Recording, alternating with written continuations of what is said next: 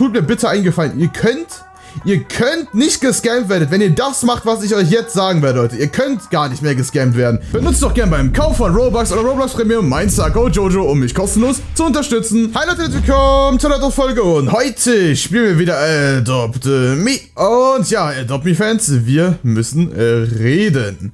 Ja, heute geht es mal um Scammen, um mich und Faker von mir und anderen großen YouTubern und darum, wie du gar nicht mehr gescammt wirst. Ja, Leute, darum geht es halt in diesem Video. Ich muss ganz, ganz dringend mit euch reden. Mit der deutschen Community von Adopt Me. Mit jedem von euch. Das heißt, teil bitte dieses Video mit all deinen Adopt Me Freunden. Es ist sehr, sehr wichtig, ja?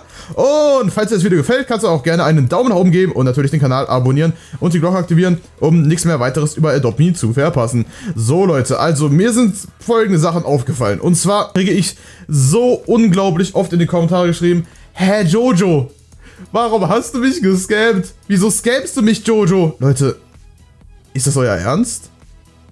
Warum? Sagt mir, warum sollte ich euch denn scammen? Also, guckt mal Leute, es gibt von vielen YouTubern, von mir oder auch von anderen Roblox Adopt YouTubern, gibt es so viele Faker. Ich habe auch schon viele Videos über mich auf YouTube gesehen, wo Leute irgendwie mich getroffen haben anscheinend, obwohl ich das nicht mal war. Und Leute, ich bin das nicht. Ich scamme nicht. Ich habe in meinem Leben noch nie gescammt. In keinem einzigen Spiel, außer es war ein Scammer. Also, dann habe ich das auch aufgenommen, habe es euch auch gezeigt, Leute. Ich habe einmal Scammer wurde gescammt hochgeladen. Das war das einzige Mal, wo ich quasi gescammt habe. Und da habe ich einen Scammer gescammt. Ich kann euch versprechen, Leute, ich gebe euch jetzt mein Wort. Ich habe noch nie in meinem Leben gescammt und werde es auch nicht. Ich gebe euch mein Wort.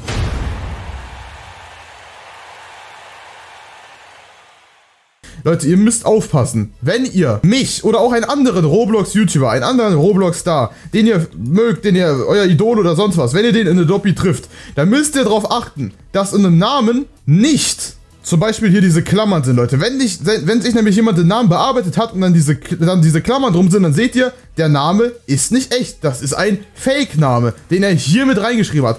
Wenn da nicht die Klammern da sind, dann ist das der Originalname, Leute. Außerdem bei mir oder bei anderen Roblox-YouTubern ist es auch so bei mir vor allem besonders. Ihr drückt einfach den Knopf, wo ihr dann hier hinkommt. Auf der Tastatur ist das Escape auf dem Handy. Findet ihr das auch schon, ihr wisst ja, wo, wo das ist. Und Dort könnt ihr hier nochmal den richtigen Namen lesen, Leute. Meiner ist halt Jojo Crafter P, genauso wie mein YouTube-Kanal heißt. Und hier, bei mir ist es halt auch so, hier seht ihr nochmal den Skin und wenn ihr hier auf Ansehen drückt, seht ihr hier das super, super Happy Faces, überglückliche Grinsegesicht auf Deutsch hier diese Krone. Und die kosten insgesamt, hier Leute, wenn wir mal auf meinem Roblox-Profil gucken, dieses Gesicht hier kostet 66.000 Robux und diese Krone kostet 55.000 Robux. Und ich glaube nicht, dass ein Scammer, ein Faker von mir, diese Items auf seinem richtigen Roblox-Account hat. Ja, Leute, in Adopt Me kann man diese Items kostenlos anziehen. Das heißt, ihr könnt auch dieses Gesicht hier anziehen.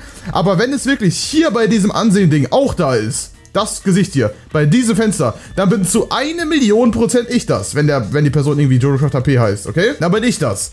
Weil ich glaube nicht, dass Faker auch sich dieses Gesicht für 66.000 Robux kaufen würden, nur um Leute zu scammen. Aber es gibt so viele Scammer leider draußen. Und ich meine, Fake ist nicht das Einzige. Es gibt noch sowas, nennt sich Trust Trading. Das kennt ihr auch alle, Leute.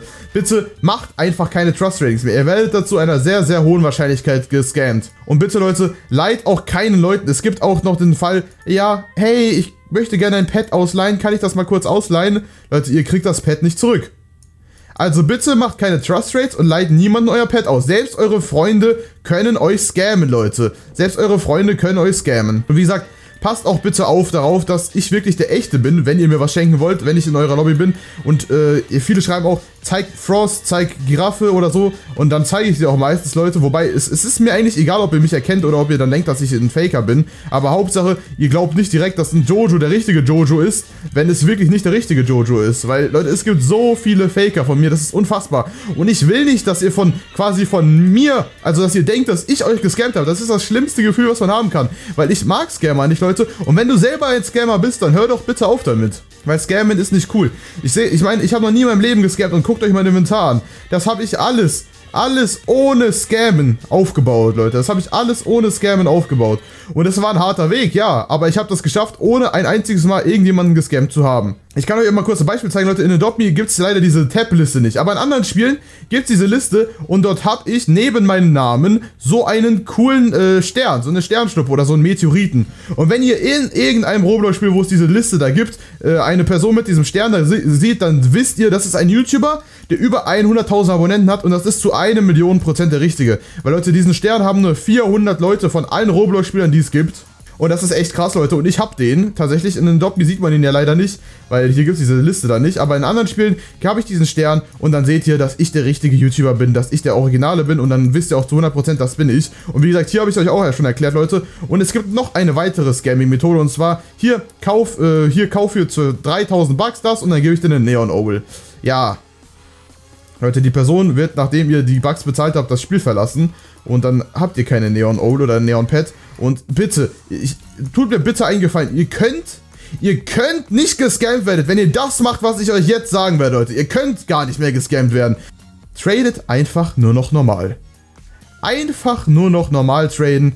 Ihr tradet jemanden an, die Person legt ein Pad rein, wie zum Beispiel eine Neon Giraffe und ihr legt einen Neon Frostwing rein. Das ist ungefähr gleich und dann tradet ihr das so. Da kann nichts bei passieren. Nix. Du musst halt wissen ungefähr, was, was, was, was wert ist. Zum Beispiel jetzt ein Mega Neon Shadow Dragon zum Beispiel ist jetzt nicht so viel wert wie ähm, ein Scalerex zum Beispiel. Aber wenn ihr ungefähr gleich seid, wie zum Beispiel ein Robodog und ein Kitsune oder sowas, ja? Wenn es ungefähr gleich ist, dann macht doch einfach einen normalen Trade, trade die Person an, legt das rein, die Person legt es auch rein, nix, du legst zuerst rein, dann macht ihr den Trade und die Person legt danach rein, weil das ist dann meistens Scam, weil es ein Trust Trade ist, Leute. Beide Seiten legen die Pads rein, die ungefähr gleich sind und dann tradet ihr. Und so werdet ihr nicht weggescampt. Ihr kauft keine Pets, indem ihr hier bei einem Limonadenstand oder bei einem Hotdog-Stand da Geld reinzahlt und dann hofft, dass ihr das Pet bekommt. Ihr macht keine Trust Rates, ihr leiht niemanden eure Pets aus, selbst eure Freunde. Also ich krieg so oft in die Kommentare geschrieben, ja, mein Freund hat mich gescammt, Leute. Was sind das denn für Freunde? Scammt doch eure Freunde nicht, Leute. Äh, bitte, das sind eure Freunde, warum solltet ihr die scammen? Ja, cool. Wenn ich dann Neon Frost Ring gescammt habe, ist das ja cool, dann da habe ich Neon Frost Ring, ja. Aber dann habt ihr einen Freund verloren. Das ist nicht so cool, meiner Meinung nach. Also, bitte lasst euch nicht scammen und scammt auch nicht. Wenn ihr ein Scammer seid, ich, hab, ich zeige euch nochmal mit dem Inventar, Leute, das hier könnt ihr auch bekommen, ohne dass ihr scammt. Ihr müsst einfach nur ein bisschen Adopt spielen. Einfach hier jeden Tag, wenn ihr die Aufgaben, am besten geht ihr als Baby, holt ein neugeborenes Tier raus, und dann macht ihr die Aufgaben und so kriegt ihr Geld. Und damit könnt ihr dann Eier kaufen und damit Pets bekommen. Leute, ich hoffe, die Nachricht geht an so viele Adopt Me-Spieler wie möglich raus. Ich hoffe, dass ihr nicht mehr von JojoCraft HP oder anderen Roblox-YouTubern verarschen, darauf reinfällt. Ich hoffe, dass ihr halt immer nachguckt und nicht direkt glaubt, dass das die echte Person ist. Weil Leute, guckt, guckt euch das mal an. Selbst wenn jetzt, wenn ich jetzt hier so heißen würde. Ich bin jetzt zwar gerade der echte, das wisst ihr ja. Aber selbst wenn ich, wenn ich so heißen würde, ja? Dann bin ich nicht mal der echte. Weil erstens stehen da Klammern und zweitens ist das gar nicht mehr mein Name. Und das fällt meistens gar nicht auf. Oder ich könnte mich jetzt auch, also JoJo P ist ja mein Name. So, wartet mal kurz, ich muss das mal kurz hier abspeichern, zack. Wenn ich, wenn ich, so. Das merkt man meistens gar nicht. Okay, gut, das, das hier wird jetzt zensiert, warum auch immer, Leute. Aber wenn der richtige, also man kann den richtigen Roblox-Account, äh, wenn man den erstellt, neuen, kann man den jetzt ja auch zum Beispiel, zum Beispiel Jojo, äh, mit Doppel-R ähm, nennen oder sowas, wenn er halt nicht schon vergeben ist. Und dann fällt das meistens gar nicht auf. Deshalb müsst ihr unbedingt gucken, dass erstens um den Namen keine, keine Klammern sind. Zweitens müsst ihr genau drauf gucken, wie mein Name geschrieben wird. Mein Name wird geschrieben, Leute, großes J, kleines O, großes J, kleines O, dann Craft komplett klein und HP groß. Kann man sich eigentlich ganz gut merken, oder? Vier Großbuchstaben, der Rest alles klein. Beide Js groß und das Ende auch groß. Das ist alles, was groß geschrieben wird. Viele schreiben ja meinen Namen noch mit C in der Mitte groß. Das ist nämlich falsch, Leute. Mein Name wird in der Mitte C nicht groß geschrieben. Also so, wie der jetzt geschrieben wird, ist es falsch. Und das Einfachste ist einfach, wie gesagt, hier bei Ansehen drücken, wenn ihr mich gefunden habt. Und wenn ich dieses Gesicht habe, dann bin ich zu 100% der echte, Leute. Wie gesagt, macht auch bitte keine Trust Trades. Lasst euch nicht von anderen Leuten scammen und Scammt am besten auch nicht, Leute. Es gibt halt so viele, das ist echt, echt sehr krass, wie viele Kommentare ich bekomme, dass ich von, dass die Person von mir gescammt worden ist, Leute. Ich habe euch mein Wort gegeben, ich scamme nicht und ich werde auch niemals scammen. Ich finde sowas nicht cool. Leute, mir ist gerade noch was eingefallen. Ich kann mir ja einfach den VIP Game Pass kaufen und alle Leute, die nicht VIP sind, sind automatisch gar nicht ich. Dann müsst ihr euch auch gar nicht irgendwie äh, verarschen, dann wisst ihr automatisch, wenn die Person die mich versucht zu faken, nicht VIP ist, bin ich das auf jeden Fall schon mal gar nicht. Okay, Leute, wo ist der VIP Game Pass? Hier, Leute, 500 Robux gebe ich jetzt aus, damit ihr wisst, dass ich der echte bin. Aber Leute, natürlich, bevor ich das jetzt kaufe, es können auch VIP-Faker geben. Also es kann auch jemand faken, der halt auch VIP hat. Das, also wenn ich, wenn ihr einen VIP Joker P seht, heißt das nicht direkt, dass ich das bin. Checkt dann bitte noch die weiteren Sachen ab, die ich euch vorhin schon genannt habe. Aber Leute, es wird ein Großteil der Faker minimieren, wenn ihr wisst, dass Jojo Crafter der Originale, der echte Leute, ich, VIP hat. Okay Leute, kaufe ich das jetzt für 500 Robux für euch und Easy, Leute. Jetzt habe ich VIP mir gekauft und wir haben jetzt sogar Zugang zur exklusiven Oh, ich habe sogar eine Limousine, Leute. Ich habe 100 Bucks. Oh mein Gott, 100 Bucks. Und wir können jetzt in den VIP-Bereich rein, Leute. Das testen wir mal ganz kurz aus, Leute. Die Limousine spawn ich jetzt. Und hiermit fahre ich jetzt zum VIP-Bereich. Nur weil ich jetzt VIP habe, heißt es nicht, dass es keine Scammer mehr gibt, die VIP haben. Das heißt, wie gesagt, falls ihr einen Scammer trifft, also einen Faker von mir, der auch VIP hat, das ist möglich. Aber, Leute, wie gesagt, es wird jetzt sehr wahrscheinlich die meiste Anzahl von äh, Scammern, von Fakern minimieren. Das heißt, wenn ihr einen Jojo Crafter P seht, der kein VIP hat, ist es zu 100% nicht ich. Und wenn ihr einen Jojo Shot HP seht, der VIP hat, ist es zu einer hohen Wahrscheinlichkeit ich, Leute. Gehen wir mal in den VIP-Bereiche rein. Hier war ich noch nie drin, Leute. Mal schauen, was es hier so zu erforschen gibt. Wow. Okay. Also hier kann ich jetzt Party machen, hier sind Geldbäume und hier sind kostenlose Snacks. Oh, die sind echt kostenlos, oder? Ja, tatsächlich nice. Okay, Leute, äh, weiter geht's mit dem Video. Und ja, falls dir das Video gefallen hat, dann lasst doch gerne einen Daumen nach oben da.